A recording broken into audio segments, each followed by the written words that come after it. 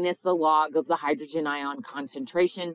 With these, HNO3, strong acid, that's nitric acid, H2SO4, sulfuric acid, strong acid, and, and, HCl, hydrochloric acid. So these are all strong acids. So remember that that way you know strong acids forms 100% hydrogen ion. So the concentration of the acid is all that you have to plug in to figure out the pH. So the pH is minus the log of the, they say H3O plus or H plus or acid concentration, any of those all means the same thing. So if you've got the graphing calculator, you put it in as it's written. Let me unfreeze it. If you don't have a graphing calculator, if you have the old calculators like the ones that I have, you've got to put it in kind of backwards because you've got to put the numbers in first. So in this one, when I go to put this in, the first thing that I put in the calculator is I have to put the concentration. So in putting in the concentration, remember that you have to use the EE button. So it's going to, you put 2.5 and then you hit that EE button once and then you put in a negative 6. So it should look like 2.5 and then two little numbers up in the upper right hand corner on the calculator. Put the negative 6 in. That's 2 times 2.5 times 10 to the minus 6. Then you hit the log button and then you hit the little plus minus button that's down near the equal sign. So it looks kind of like that. Okay. For if you have a graphing calculator, it's just a little negative in parentheses down, down near your enter button or equal button. Same thing. It just changes the sign. If you have a graphing calculator, you just put minus, then log, then put in the cal the concentration. So 2.5 log, make it negative, and I got 3 point, no, hold on. Make sure I had it cleared. 2.5 EE, and it's 6 negative, and the log of that is 5.60, 5.60 Anybody not get that? Okay, so put in clear, clear it. What kind of calculator do you have? Okay, so you got to put your negative button, see the little minus button in the parentheses? Put that, then hit log. Uh-huh. And then 2.5, do you know how to put exponents in that? You, okay, so then put in the exponents and equals. So if you have a graphing calculator, you put it in the way it's written. Did you get this? 5.60, 205, 9991.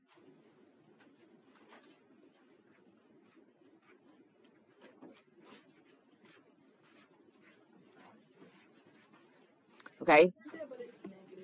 Right. So remember, you got to hit the little plus minus button at the end. See your little negative? It's right. So it is minus the log. So put your negative in 1st mm -hmm. Huh? You said negative 2.5. Yep. So you have negative symbol, then the log symbol. And then where's log? Mm -hmm. The log is usually here negative then log, then 2.5, and then if you go second EE, that puts it into the exponent, and then see that, that blue E, the little EE, second and E, second in the comma button is the one that puts it in exponent, then you put a negative 6 and equals. What is, what is? So you see in this button, see where it's a little plus minus? That's that button. Okay, if you have a graphing calculator, it looks like parentheses with a negative. It's always down in the lower kind of right corner on the keypad. It's always next to the decimal point. All that is is to change the sign. So if you have the old calculator, you have to put it in the way I've written it in black. If you have a new or graphing calculator, you put it in straight. Put a negative button or negative, then the log, and then the concentration. Okay? So in this, I can't keep 5.0602, 5.60205991. I have to round this to what? Mm -hmm. So see two significant figures in the answer. So that tells me how to round. So 5.6 is the first two significant figures coming from the left. So that means all the rest of those get dropped off. So my pH here would just be 5.6. So is this a is this strongly acidic, mildly acidic, strongly basic, mildly basic, or is this neutral? Mildly what? Acidic. Good. hmm So this would be something that would be considered mildly acidic. It's pretty dilute. Okay. It is a strong acid, but it's very dilute, which is why the pH is closer to 7. So if you have an H2SO4 solution that has a pH of 3.80, what is this? So 3.80 is this mildly acidic, strongly acidic, neutral, mildly basic, strongly basic. Hmm? Yeah, pH of 3 is kind of like that cutoff. So I would say remember on the going from that 0 to 14 scale, things that are down from say 0 to really 0 to 3 is the strong base is the strong acid. Whereas if you come up anything above 10, 10 to 14 is that strongly basic. And then anything that's in between, so this one's like right, it's not it's not really strongly acidic or weakly, it's kind of right in the mid midpoint. This would be considered like mildly acidic. That three to four range is a little squirrely because it's not an exact thing. But then anything above seven going up to 10, that that's going to be more mildly basic. Remember on that scale, the closer you are to seven, the more neutral. So if I have this constant, if I get a pH, which remember pH has no unit value, it's just the log value. And so in this, to figure out its hydrogen ion concentration, you need to do this like the formula in reverse. So I'll do it in red if you have the graphing calculator. So if you have the graphing calculator, you have to hit the second button, then the log button, and then the parentheses comes up and you put in the pH as a negative. Okay, that's the graphing calculator. If you have the old school calculator, I'll put it in black. So in that one, I have to put a, I have to put 3.80, 3.80. Then I have to hit that little plus minus button to change the sign because it's got to be a negative pH. Then you hit the second button and then the log button. So you got to put in 3.80, make that negative. It has to be a negative 3.80. Then hit the second button and the log button. And the answer that I got is 1, 2, 3, 1, 5, 8, 4, 8, 9. That would be molar because that's a concentration. That capital M would go after that for concentration. So remember, if this one I don't have to worry about it because I have enough significant figures for rounding with this one. But remember that you can go back and forth from scientific notation to regular expanded form is what I call this. There's no exponents in it. So if I have this in scientific notation and your graphing calculator may come up and give you this, 4, 8, 9, 3, 1, 9, 2 times 10 to the minus fourth molar. So you might see one of those. They're exactly the same, right?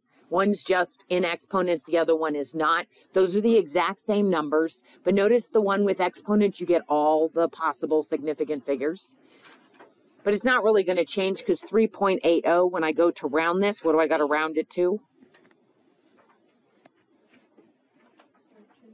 Nope, 3.80. So I have 3. Remember, the zeros after the decimal place are significant so that means when I come along, remember zeros out front, you don't count. The first three significant figures would be the one, the five, and the eight.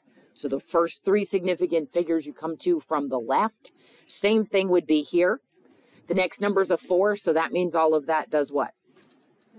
Yep, gets rounded off. So you could have 0.000158 molar, or you might have 1.58 times 10 to the minus fourth molar. Those are the exact same numbers, just written different ways. So your calculator can come up and show either.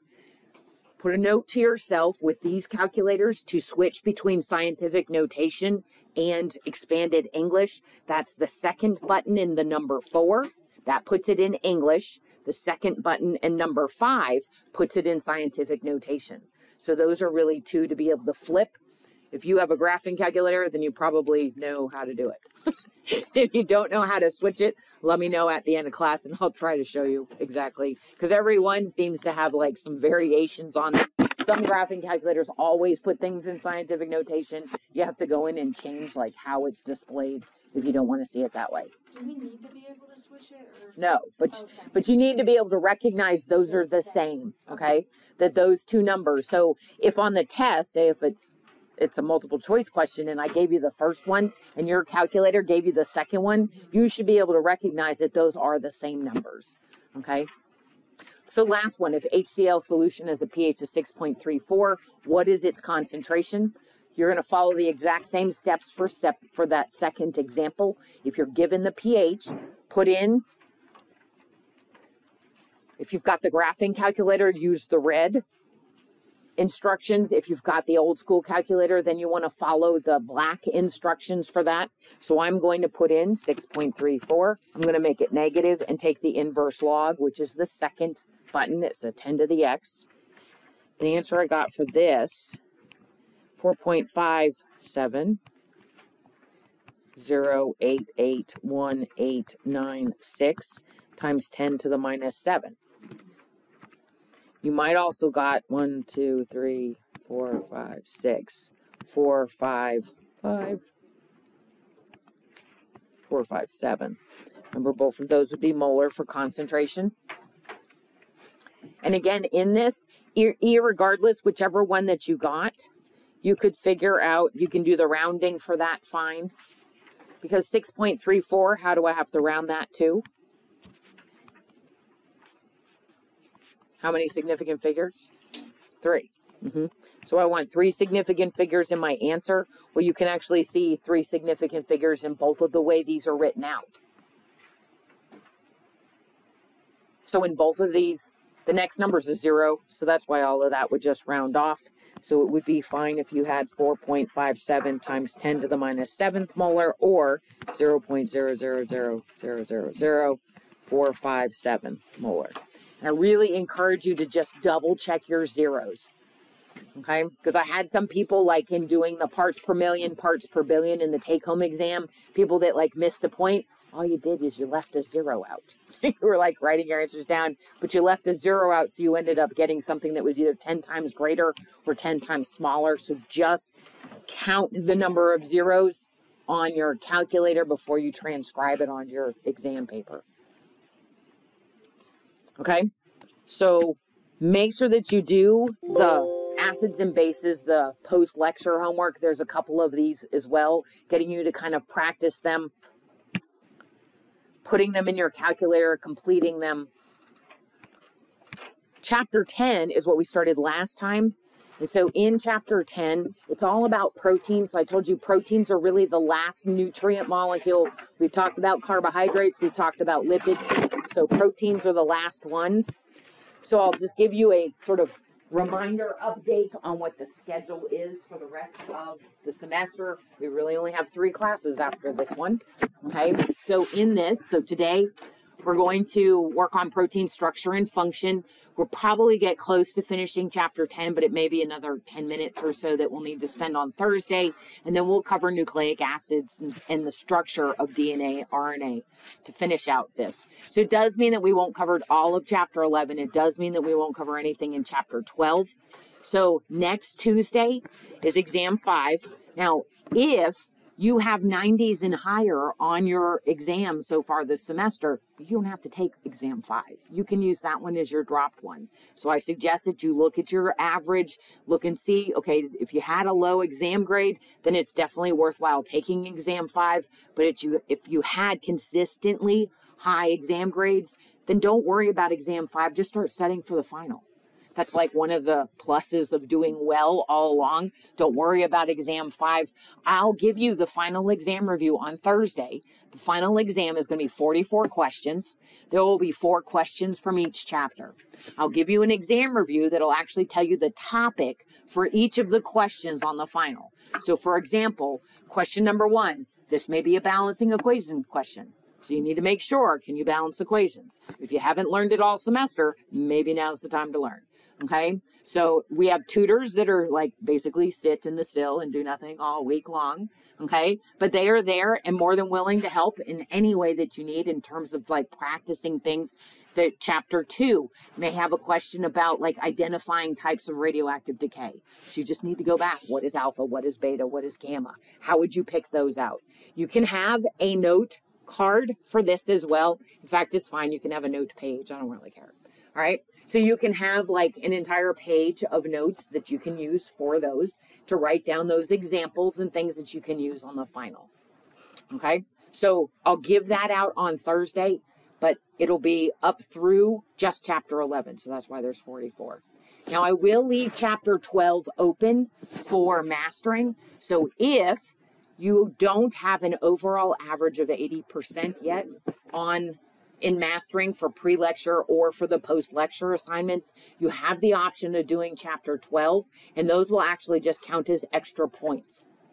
Okay? So if you already have an 85, don't bother because you're not going to get tested on it. But if you have a 50 average in mastering, there's an opportunity to bump that average up a little bit.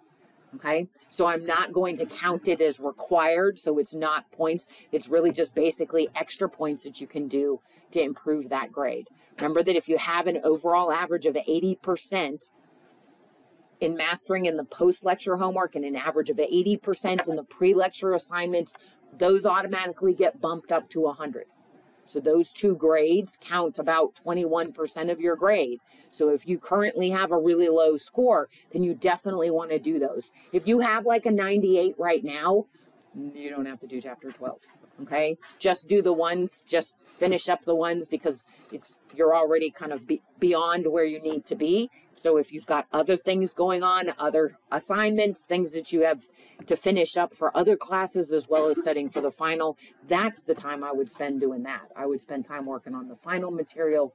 But if you have a low mastering score, that can help your grade to try and get it up as close to 80% as possible. Okay? No. And that's why I'm going to give you your final um, review on Thursday so that if you're not going to take the fifth exam, you don't have to come on Tuesday. Okay? All right, so we talked about amino acids, the fact that they've got th- that they are the building blocks of proteins, that there's 20 different ones, and we talked about how this shape the structure of an amino acid. All amino acids have this structure. So all of them have this in common. There's a nitrogen, a carbon, and a carbon. The nitrogen on the left, or the one, the only nitrogen, has three hydrogens attached to it. The middle carbon always has a hydrogen. The right carbon, or the end carbon, always has two oxygens on it. One's a double bond, the other one's an oxygen. And oftentimes the nitrogen has a positive charge, the oxygen has that negative charge. So all, and they sometimes call that like the backbone because that is what is the same in every single amino acid. So amino acids differ by this. So that R group, that group that I've got starred right here, that is the part of the amino acid that makes one amino acid different from another. In fact, depending on what this group is, there is a very like 19 out of 20 amino acids are actually chiral. So here's like an example in this one. So you can see in this, there's like a nitrogen group on one side, that carboxylate group above, a hydrogen to the right, and then that R group pointing down. So all four of those groups are different. So what's kind of nice though is unlike carbohydrates where like carbons three, four, and five are all chiral. Here, there's only ever one chiral carbon.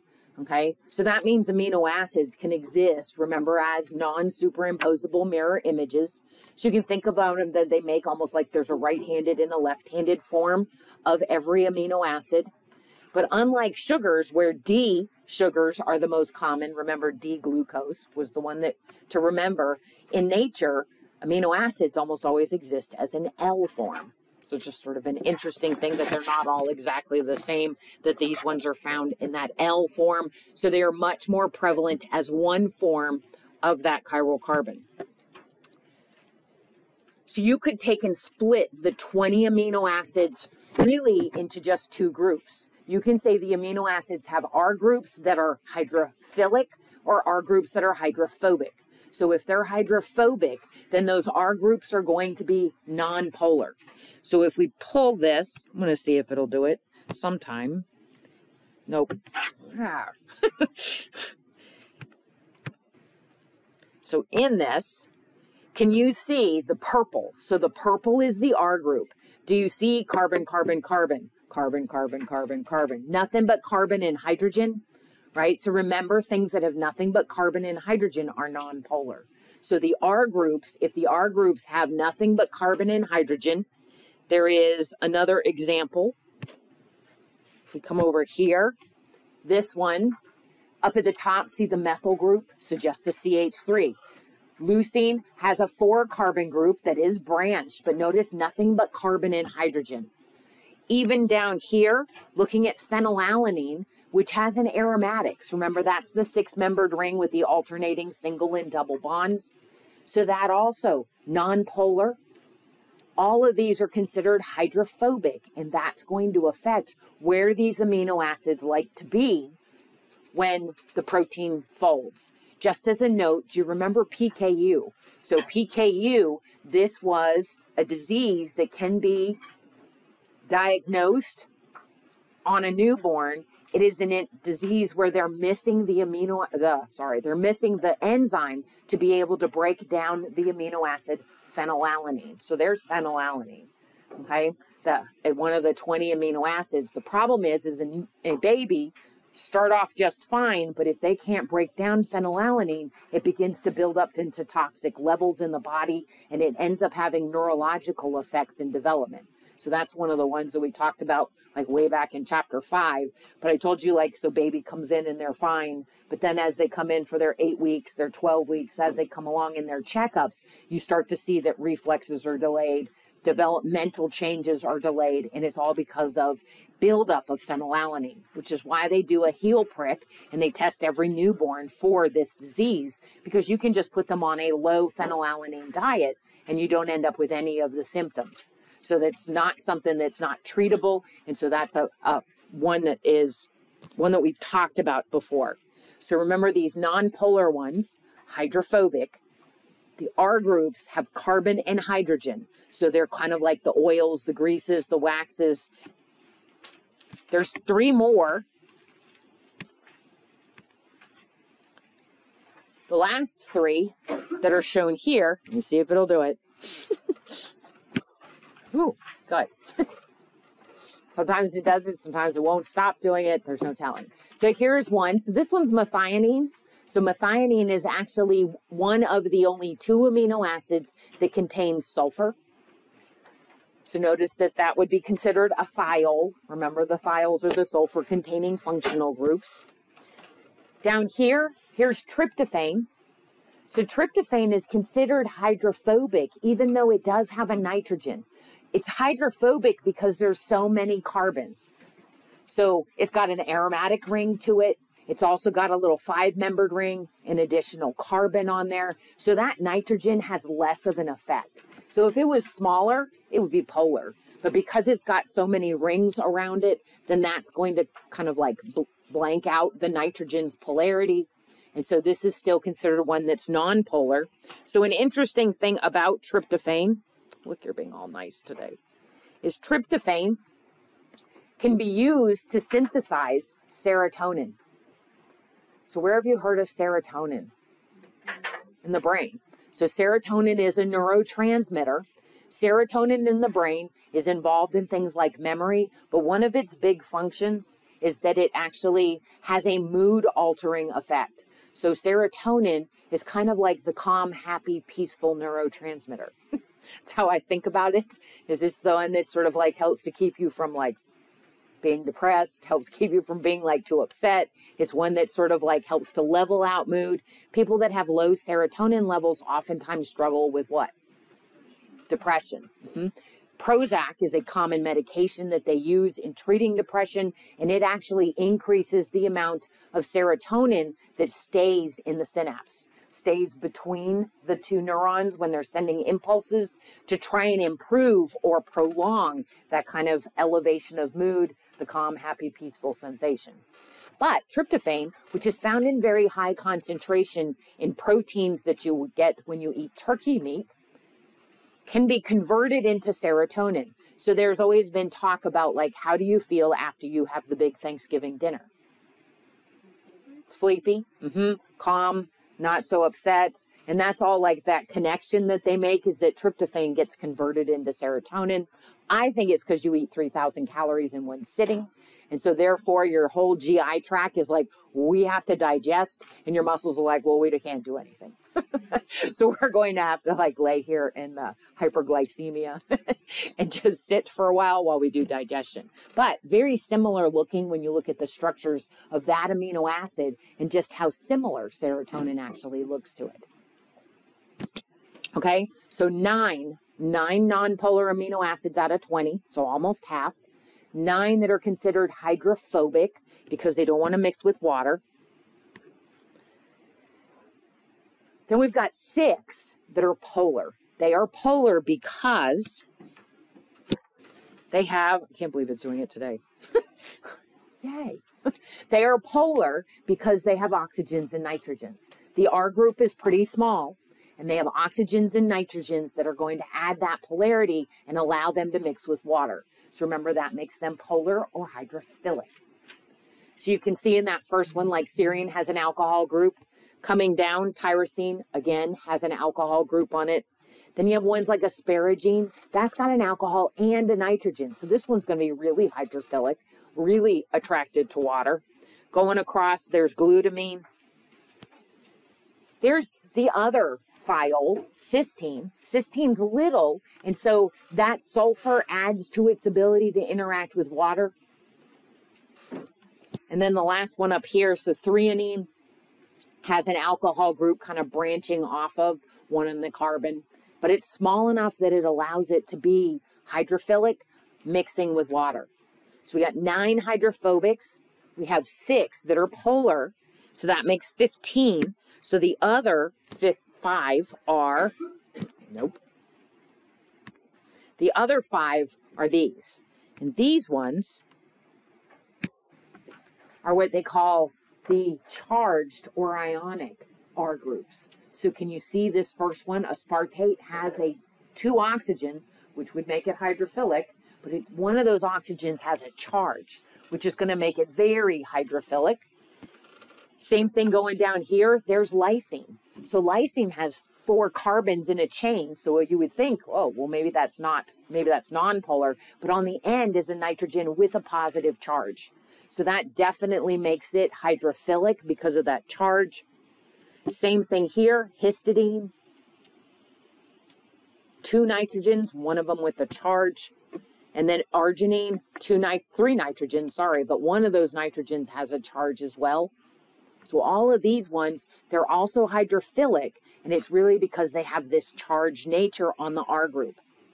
So that beigey part, if you look, notice the beige NCC, NCC, NCC. So you see the same, that beige part and all of these amino acids, that is the part that's in common. All the amino acids have that kind of beigey area, that beigey um, structure. It's the purple part that's actually different from one to another. Okay, so there are nine that are hydrophobic, 11 that are hydrophilic. Just kind of keep those in mind. You do not have to memorize structures. okay, you do not have to memorize names. So you don't have to be able to tell me the names of the 20 amino acids. If you find this very interesting, you can take a biochemistry class. Out of the 20, and you may have noticed, like with this one, can you see that arginine and histidine and lysine, the ones down there at the bottom, do you see they got a little star? There's like a little asterisk in front of each of their names. And if you flip back, you'll see like threonine has one, and then looking back, methionine and tryptophan have them. Those stars indicate what they call essential amino acids. Essential amino acids you have to get in your diet. Your body cannot make them. So this is when, when people are protein deficient, they can't make the proteins that the body needs for functioning, and it's because they're not getting those essential. Adults, we can make 12 amino acids. Eight of them are considered essential, so this means they must be obtained in your diet.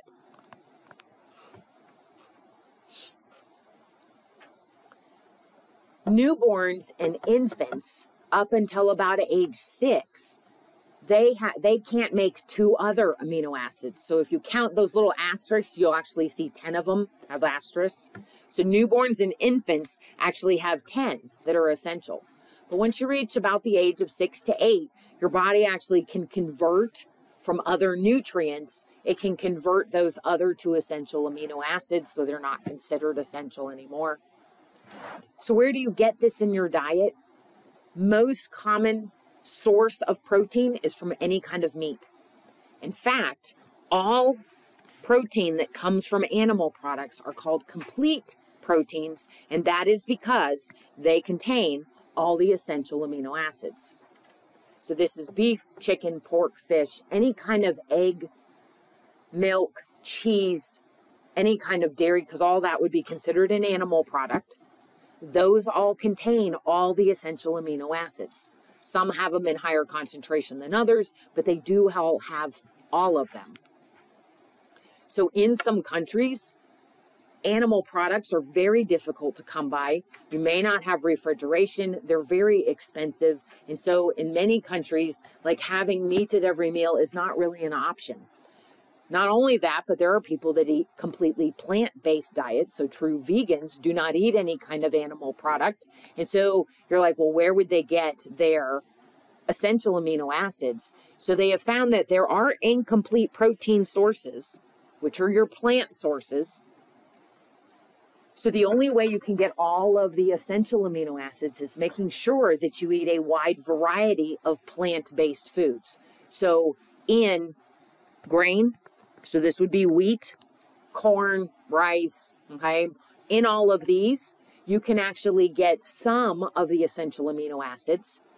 And as long as you include what are called legumes, which are beans, between the two, those two together will actually supply all your essential amino acids. And when you stop and think about it, there's a lot of side dishes that actually contain beans and rice or beans and grains. So I always think of like as a kid, you would take peanut butter and jelly on bread. Peanut butter, peanuts are actually legumes, they're beans. Bread is your grain. So eating a peanut butter and jelly sandwich actually gives you all your complete, it's a complete protein source because it's providing amino acids, the essential amino acids from those two categories. So you go out and you have Mexican food, and what do you have? Beans and rice. Okay. Refried beans and Mexican rice, same thing. Rice is the grain, the refried beans is the legume. So that itself is a complete protein source.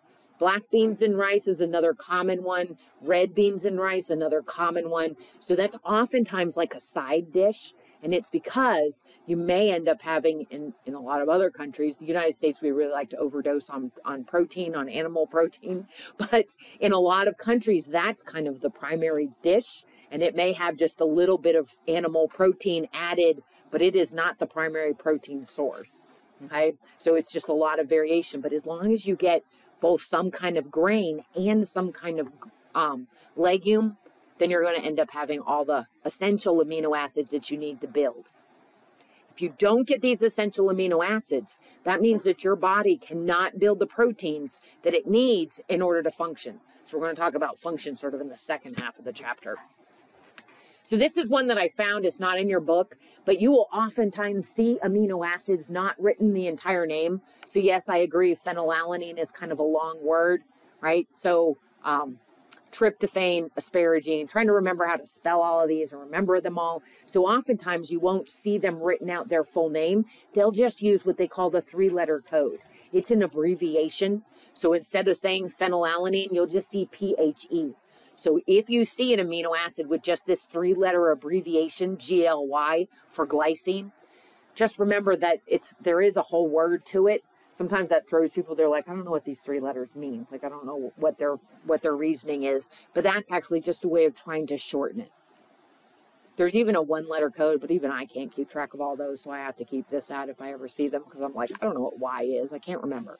So i can pretty much tell like i can tell tyrosine is tyr so most of them it's sort of like the first three letters of the amino acid but if you see those three that's what they're referring to so now how do these amino acids get linked together? They get linked together as a condensation reaction. So remember that condensation reactions always form what? If you have condensation, then what do you see? Water. Mm-hmm. So remember that water is a product. Remember in the glycosidic bond where we pulled a hydrogen off of one sugar and alcohol off of the other sugar to form the link between the two sugars? The exact same hap- thing happens with proteins. The link that is formed is called a peptide bond. That is the bond between amino acids. And it can form a chain of amino acids that can be short. You could have 10 to 15 amino acids in the chain, or it could actually be hundreds. So kind of think about it like those carbohydrates as well, where we can have just the disaccharides, just two sugars linked, but we can also have polysaccharides where we can have hundreds of sugars linked together. Same thing can occur with a protein. So this link, this connection and the order of the amino acids is what forms what they call the primary structure of a protein. So the primary structure, it is really just the order of the amino acids. So in this first example, they just show you how a peptide bond is formed. So the first amino acid is alanine. And so in that, here's its R group, right? So it's CH3 is the R group. So the rest of it, that NCC, exactly the same. The next one over is a valine. And so here you can see this is its R group. So notice if you kind of took the R groups off, they look exactly the same. Nitrogen, carbon, carbon. So what happen is happens is is the nitrogen loses its oxygen from that the sort of side carbon. The nitrogen of the valine loses two hydrogens. So you have two hydrogens and one oxygen, and these combine and form water. So the oxygen comes off of one of the amino acids, two hydrogens off of the nitrogen of the other amino acid, and now we have the link. So the link that is formed is between the second carbon and the nitrogen of the next amino acid. So we form this connection. And that is the peptide bond. Now, if you look at it, do you see that it's an amide? So remember nitrogen, if there's a carbon connected to it with a double bond oxygen, it's an amide. That is the link. So this just forms a dipeptide because it's just two amino acids linked together. And also notice that now I have nitrogen on one end and that carbon with the two oxygens on the other end. So proteins actually have like a beginning and an end. So you couldn't just take and flip them backwards. They have a direction to them. So we can form this. So this is going to be forming a small protein. So this is just four amino acids. So can you see this is amino acid one, two, three, and four. Okay. And if you look and kind of go across the row, nitrogen, carbon, carbon, nitrogen, carbon, carbon, you can kind of see that with each one. So as, as you go across to do this link, the very first one starts off, the nitrogen is not changed, so it's still positive charged and it's got three hydrogens on it. That's the amine end or the nitrogen end. This middle carbon never changes. It's not involved in a peptide bond, so the middle carbon is going to look exactly the same. But it's the carbon that's on the end. The carbon on the end keeps its double bond oxygen, but it loses the oxygen with the negative charge. So this oxygen comes off and these two hydrogens come off, and that forms the link between amino acid 1 and amino acid 2. So now that nitrogen's lost two hydrogens, and so now it's a, this peptide bond is the link between them. Amino acid 2, nitrogen now only has one hydrogen. Carbon in the middle doesn't change. Carbon on the end loses its oxygen to form the link with amino acid 3. So I pull off the oxygen, pull off the two hydrogens, and now I have the link. Carbon in the middle doesn't change. It's still just a carbon with its R group hanging off. The carbon on the end loses its oxygen to form the link with the nitrogen on carbon on amino acid number four. Amino acid number four, middle carbon doesn't change, and the end since it's not attached to anything, remains the same. So here, here, here, those are the peptide bonds. They're just the links that are formed. I could just keep doing this.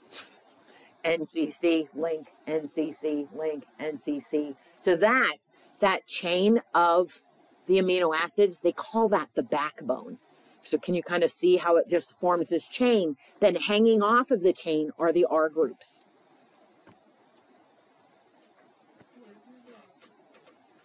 Say it again. Water. Okay, right? So when these get pulled off, I get water, I get water, so I'll actually have three water molecules after this is done. So I form three peptide bonds. Every peptide bond forms a water.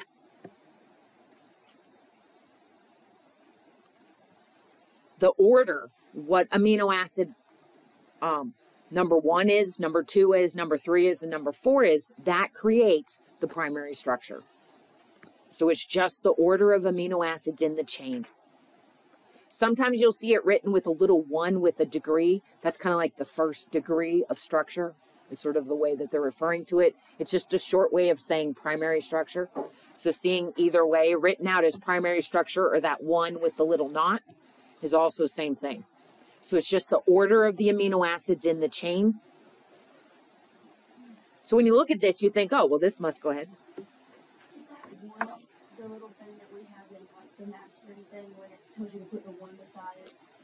Yeah, that was like when they wanted you to like note and do the the little at like I'm trying to remember what they call it, like a notation to it, is trying to mark it. It's so in this, you'll see the next one is the secondary structure. They'll put a two and a knot. So the little circle is kind of like degree. So this is like the first degree of structure. So that's kind of what their that like short abbreviation is referring to. So if you see it written out that way, it's just a way of kind of shortening the word primary. So instead of writing primary, you write the one with the little zero. So example, example of the order of the amino acids comes into play in in patients that have what is called celiac disease. So not as much today, but say within the last 10 years, the whole gluten sensitivity thing became really big. People were like avoiding gluten like it was like like toxins, like the plague. It was really bad. No, gluten was terrible and you should stay away. And so people were like, I don't even know what it is. okay? Gluten is a protein found in grains. Gluten is found in all of your wheat. So wheat grain, so anything made with flour is going to contain gluten. Any crackers, any breads, cereals that contains flour, wheat products all have gluten in them. So wheat, barley, um, rye, like all of the types of grains that are more as a seed. There's really only a couple of grains that don't have gluten proteins. That would be rice and oats. So patients that would eat this, eat any kind of a flour that is a wheat-based, rye-based, oats, not oats, but um, like barley-based, they, when they digested the protein, the protein would get broken down into smaller proteins, which is normal in digestion. When you eat big proteins, you got to break them down. Those smaller pieces, when they would get into the small intestine, they were actually seen as foreign. Has celiac disease? Yep. So it is. That is that is the big huge challenge and what you will find. So yeah, the gluten the gluten section. Yeah. Yep. A lot of people just order their stuff from Amazon and stuff just to be able to get what they actually need. So when these small fragments get into the small intestine, there are clusters of immune cells right underneath the lining in the small intestine. And their goal really is to just watch what comes through so that if anything foreign ends up in the small intestine, that can trigger an immune response so you can get rid of it and not let it get absorbed. But these harmless fragments are seen as foreign and they trigger an inflammatory immune response. This inflammatory immune response actually causes inflammation in the lining of the small intestine. This can cause the pain, gas, bloating, nausea sensation. But the big problem is, is this can cause this change. So if you look at, see if it is going to let me do it. So if you look at this, this is what the lining of your small intestine looks like normally. So you actually have these visible folds. When you look at it in the microscope, it kind of looks like carpet. Okay. You have these little tiny folds in the lining of the small intestine. So nutrients come down and rub up against those folds, and that allows them to get absorbed. So they really say like your small intestine has like a 3,000 square foot surface area because of those folds. That's like a house, like a big house floor. Okay, that's how you absorb things so well, is because nutrients go along those little fingers, bump up against the wall, and once they're small enough, boom, they get absorbed. But this is what happens with celiac disease. So, with celiac disease, because of this inflammation, you slowly lose those villi. So, what does that do to the surface area? A lot. Okay. So, that seriously decreases the surface area. If you don't have the surface area, you're not going to have good nutrient absorption. Okay. So, that means that nutrients, not just the gluten proteins, but all nutrients pass through without getting absorbed properly. So these patients can end up having malnutrition. Had a friend, like when they would have the bouts, when they have had the inflammatory bouts, it'd be nothing for the friend of mine to drop 15, 20 pounds. Even if he ate, even if he like went completely gluten free and was like super strict, his bowel was so inflamed that he couldn't absorb the nutrients that were coming through. And then, so therefore, it was all of the issues.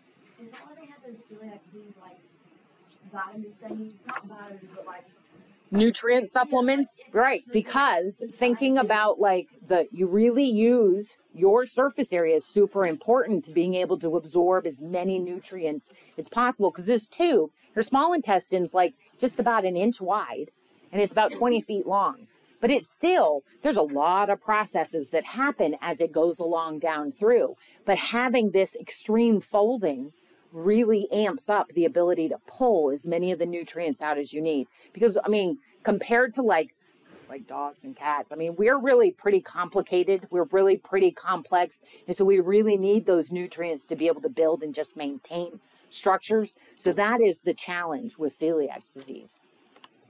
Is just trying to make sure that they they decrease their exposure to any of those gluten proteins because it causes this sort of inflammatory bowel response that can take, like you end up having to take like the steroids, you end up having, some people have to take um, immunosuppressants just to try and get this under control so that they have some absorption that can go along through. So malnutrition actually ends up being a really big issue for people with celiac disease. So, that's just because of the, stru- the the sequence of the gluten protein. So it's just the sequence of those amino acids that trigger that. But there's not just a chain of proteins. Proteins typically have some kind of folding to them. The second level of structure, so that secondary structure or the second degree of structure, so that little two with the knot thing. So that is because the chain of the protein has, remember that each amino acid is all NCC. Sticking off of the nitrogen is a hydrogen when it's in the chain, but sticking off the carbon is a double bond oxygen. So this sets up hydrogen bonding. So remember in hydrogen bonding, I said if you have two nitrogens or two oxygens or an oxygen and a nitrogen, and one of them has a hydrogen, then they can form that hydrogen bonding where that hydrogen kind of forms a bridge of attraction between the nitrogen and the carbon. So in this, if you look at, see if we can do this. okay. So in this, if you look, do you see that the chain, as it sort of creates this helix or this coil, do you see that carbons with their double bond oxygen begin to automatically line up and they can form hydrogen bonds with nitrogens that have their hydrogen attached? So that's those dot, dot, dots. So all those dot, dot, dots begin to create this like spiral that they call a helix. They call it an alpha helix because of the way that it twists. So it twists this way instead of that way. So they always go, that's where the alpha term comes from alpha helixes, I think of this as creating like a spring. So now I can take this protein. If it was just a straight piece like a spaghetti noodle and I pulled on it, it could snap. But this is going to now give me flexibility. So you can imagine taking the ends of this protein and pulling, and you could stretch it out and it would bounce back. So I've now got some flexibility. It's not quite, it's a little more stable. It has this ability to sort of bend and shift with decreasing the risk of it actually getting broken. So alpha helix is going to make, now it won't go back. Alpha helixes are going to help make a stronger structure. The challenges are real. okay, there. It'll make a stronger structure, more flexible, less tendency to break. There's another type of secondary structure too, and this is where the chain like folds back on itself. So it folds back on itself and creates hydrogen bonding along those sort of ripples. They call that a pleated sheet. Again, can you imagine that this now has the ability to kind of bend in and stretch out? Also has the ability to sort of flex back and forth. I always think of like a paper fan. Like when you were a little kid, did you make a paper fan? You know, you fold it back and forth and back and forth, and then you sit there. So that's really what this is. Is the the strands form this kind of like ripply kind of appearance, and in that, oh, mm-hmm. they haven't. Is it big? One of those big ones? As long as it's. Don't know what it is. Don't step on it. Might be a stink bug. it's furry. Where's he at?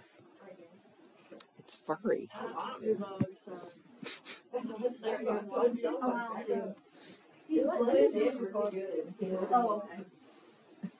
Okay. All right. Worst comes to worst, you can always put a periodic table on him and smash him. I'll just clean it up later. All right, so pleated sheets and alpha helix, just remember that this is actually the backbone, not the R groups, but the backbone that creates this and improves flexibility, stability of the chain itself, decreases the chance that it'll actually snap or break. Example with this, so Alzheimer's is actually where you have a change in secondary structure. So normal, oh, I didn't fix this. So people that do not have Alzheimer's, normally they have proteins that are in and between neurons that is called the beta amyloid protein. So this is what normal looks like. These are what? What kind, what would this be called? This is, it's secondary, but what would you call that if it has that look? It's a helix. hmm So this has the alpha helix structure. That's the normal structure. But they have found that people that develop Alzheimer's, their beta amyloid proteins, these are just proteins in the brain, proteins within neurons, between neurons, they actually shift to this. Can you see what this shape is? That's the beta, right? So remember the pleated sheet sort of forms like this rippled layer back and forth. So it then turns back into this or changes to this beta pleated sheet. The problem is, is the beta pleated sheets clump. So they start to stick or cling together, and that forms what they call those neurotangles. So literally, neurons then, their little fiber extensions all get twisted together, and you lose the ability to send the nerve impulse. So with Alzheimer's, what is commonly de- develop? Dementia, memory loss. Then you start to, like, first you start to forget, like, occurrences and you start to forget people's names. Then you kind of start to only remember things that were in the past. So then that's the one where, you know, like, people start to think people are other people because it was somebody they knew 25 years ago. And then eventually they lose that pretty much everybody becomes a, a, stranger type of thing, then they lose the ability to do like the normal functions. So feeding themselves, dressing themselves, they kind of begin to revert back. I don't know where it went. It went in this.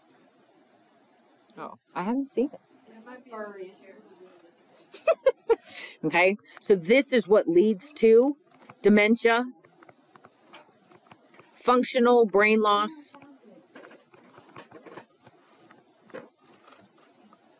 all because of changes in the folding that happens in these proteins in the brain.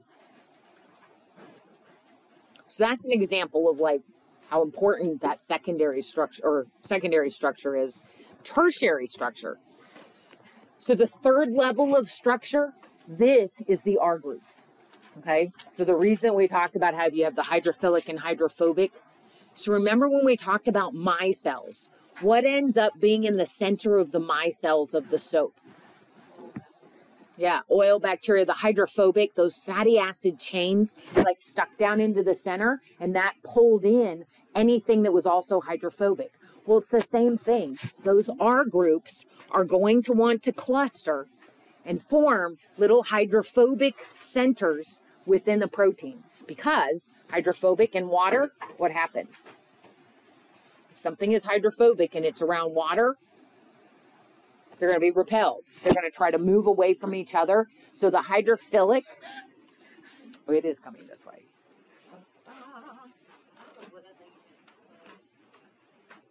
Oh no! Well, I don't want it to be so distracting. now you can pay attention. so the nonpolar, those nine hydrophobic regions, those are going to bury themselves inside of the protein. They're not going to be on the outside edge. So if you think, okay, here's our protein, and along in that protein, if I have this amino acid, this amino acid, this amino acid, and these ones are all hydrophobic, they're going to end up clustering. So they're going to end up so that that now they are all like this. And so the rest of the amino acids then end up looping around, looping around, looping around. So now I go from having something that could possibly be a chain to now it suddenly like kind of like bunches up. And I get a lot more folding. Things that are hydrophilic are going to want to be on the outside because they can interact with water.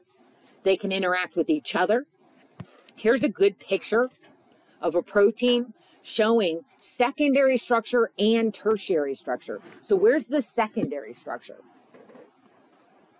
What do you see that looks like secondary structure? Yeah, the coils, right? So do you see the alpha helixes? So there's like one, two, three, four spots where it starts to coil like a spring. So this, that's alpha helix. That's just where, remember, that secondary structure.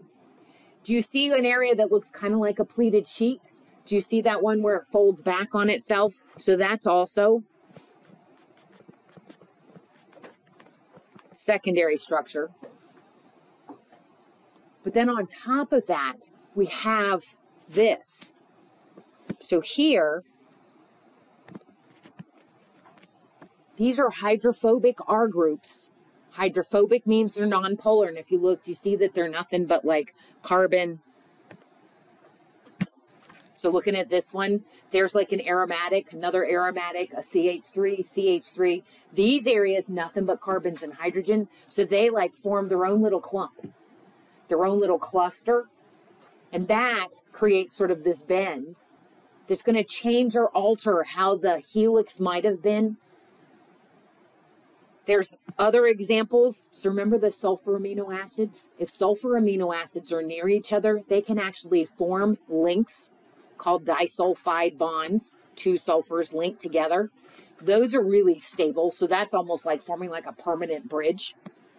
Another example here is the salt bridge. So remember the positive and negatively charged R groups in those, those five amino acids. They can actually form ionic interactions. Remember that those are the strongest of the intermolecular forces.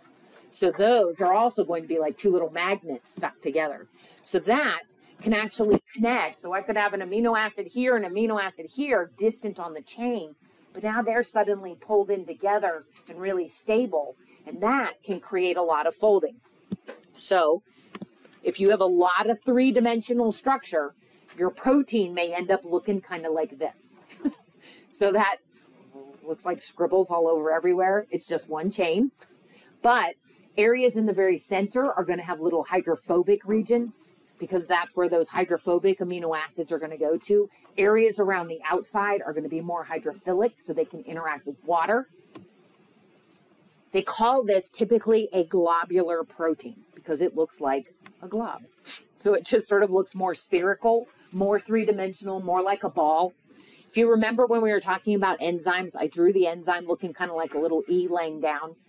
Okay. And the reason I did that is to show the shapes. Remember, that's where the two reactants like fit. The shape of globular proteins is really important to their function. So having all this folding actually creates a shape so that it can interact with other molecules. Think of like the lock and the key. Okay, so the shape of an enzyme may allow a certain molecule to be able to fit into one little cleft or one little cubby kind of like space a curve on that protein, and it needs to have all that folding in order for that to function. See if it goes. No.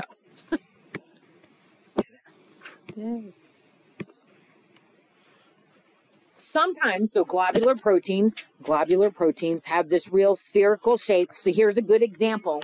You can still see a lot of alpha helix in that one. See, it looks like curling ribbon right? So you can see a lot of those coils of the alpha helix, but then they fold back on each other.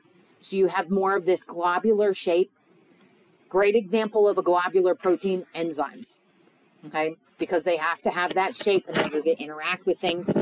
But you can also have what are known as fibrous proteins. Fibrous proteins don't have a lot of tertiary structure. So they're pretty low in terms of tertiary structure, Fibrous proteins look a lot like this. So here's their two examples. The one that's on the right is collagen. Collagen is the most abundant protein in the body. All of your connective tissues are made of collagen. Bones, cartilage, tendons, ligaments, all those dense tissues like dense regular and dense irregular tissue, all the anchoring kind of tissues, that's all made by collagen. So when you look at it though, do you see how it looks stringy? Right? So when you look at that picture, do you see how it looks thread-like? That is because it doesn't have this big folded globular shape. Instead, it does have alpha helix. but If you look at those purple, do you see the alpha helix structures? But they just form like long alpha helix chains. So they really look almost like strands. Keratin is the other example, and theirs it's showing a hair, um, a hair shaft. Keratin's job is in your hair, in your nails, on the surface of the skin.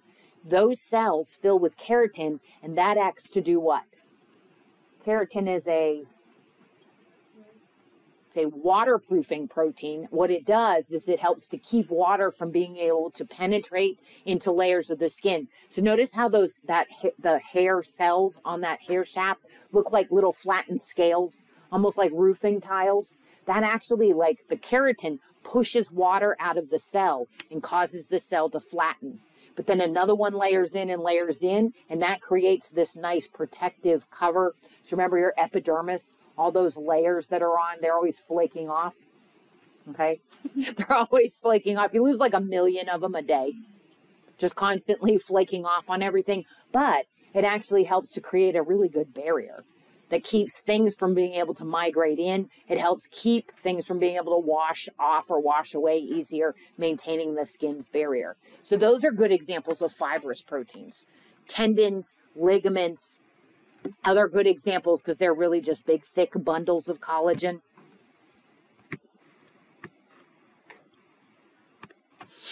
So you tell me, and I'm sorry that this is in blue because I know it's kind of hard to see, but you tell me there's amino acid one, two, three, four. Amino acid one. Where would this R group be? Is it polar? We'll say hydrophilic or hydrophobic. What do you think? Looking at this, looking at the blue, hydrophilic, right? That's a charge group. See that oxygen? It's kind of hard to see, but that oxygen does have a negative charge to it right here. So that is definitely hydrophilic. That is going to be found either with a positively charged R group or it's going to be found on the outside of the protein wanting to interact with water. What about the next one? What do you see? Mm Three nitrogens, one of them's charged. Definitely hydrophilic as well. So being either polar or charged is going to make it want to interact with water and with each other. But now what about the third one?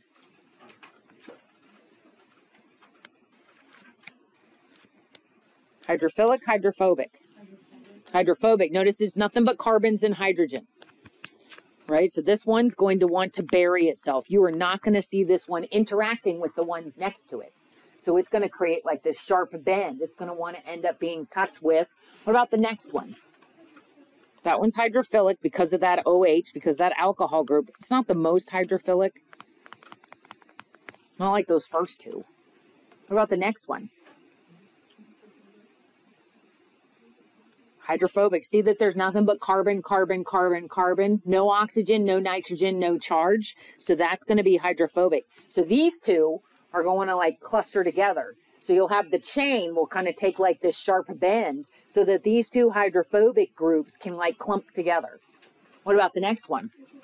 Yeah, that one's really hydrophilic because it's a ring, but it's got two nitrogens and one of them is charged. Believe it or not, that is an amino acid. This is proline. Proline's an oddball because proline is a carbon, carbon, carbon where it links from the middle carbon onto the nitrogen. So see the difference, what happens there? But what would that be? Hydrophilic, hydrophobic. Carbon, carbon, carbon. So this, mm-hmm. so nothing but carbon, carbon, carbon on those. And so that's also another hydrophobic. And what about the last one? It's hydrophobic as well. So you, can you see all four of those would be like right here. Okay. And then that one, that one hydrophilic in the middle, the R group would get like pushed off, sticking off away from those other four so that they could cluster together. So this would create a curve to sort of protect or hide those hydrophobic R groups. Fourth level, last one. Last level of structure is not all proteins have this, but some proteins are made of more than one protein chain. So that creates what they call quaternary or the fourth degree of structure. Quaternary structure is when you have two or more proteins that together form a large complex.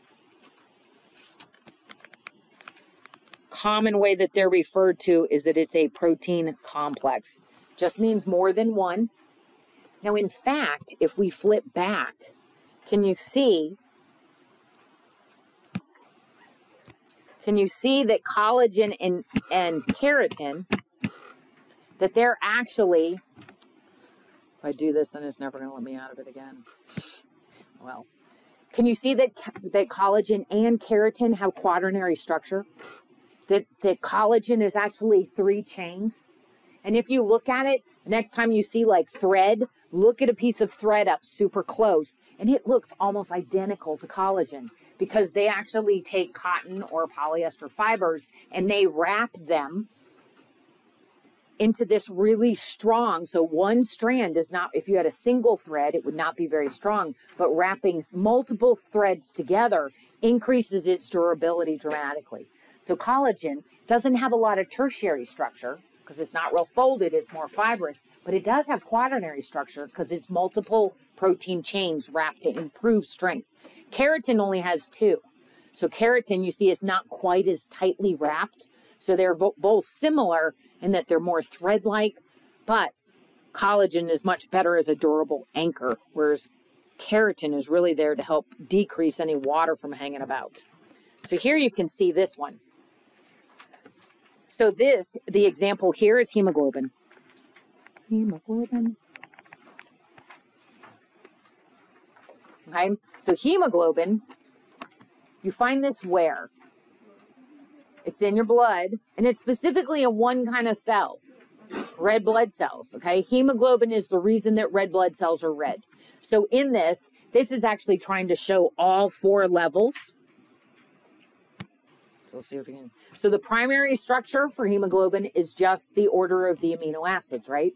So that was the primary structure, just how this one linked to this one, linked to this one. Then when we go to secondary structure, that is when you get the coils or the pleated sheets of the backbone to give it more flexibility, a little more stretchiness and stability. tertiary hemoglobin has this folded, you can still see the coil, the secondary structure in there, but it has this tertiary structure where it's very folded. Now, there's something that else that's in there. Do you see the little red thing with the little yellow ball? What's that? What is in, what does hemoglobin have? It's the whole reason that red blood cells are red. Nope, that's it's red because when it carries oxygen, it's bright red. When it doesn't have oxygen, it's dark red, but it's still red. Sometimes you can't give blood because you don't have enough of this iron. That's what that little piece is. So that little piece in the center, every hemoglobin protein actually holds an iron, and it's the iron that actually binds the oxygen. That's why if you don't have enough iron in your diet, you end up anemic and you like get tired really easily. That is because of lack of the ability to carry the oxygen. So that's why you've got that little red piece in the center is iron. But this is not hemoglobin. This is. So hemoglobin is actually four proteins. There's two that are the purple and two that are the gray. There's alpha subunits and beta subunits. But in those, it's actually four proteins. When you put all four together, they carry oxygen better than if it was all by itself. So that's the reason you have that complex. It's a really large protein. And this makes up 90% of your red blood cell. The inside red blood cells are basically just a bag of lots and lots of hemoglobin. So all their job is is to carry oxygen.